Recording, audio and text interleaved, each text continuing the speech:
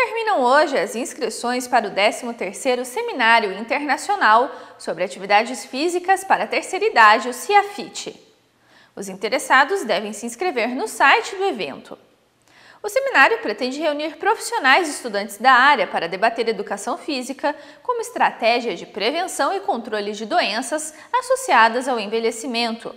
O evento irá reunir pesquisadores do Hospital Albert Einstein, da Universidade Federal de Santa Catarina, da Unesp, UEL, além de uma universidade da Holanda. A conferência de abertura será na quinta-feira, às sete e meia da noite, no Anfiteatro Ciro Grossi, no Centro de Ciências Biológicas da UEL CCB. A programação completa está disponível na página de eventos no site da UEL.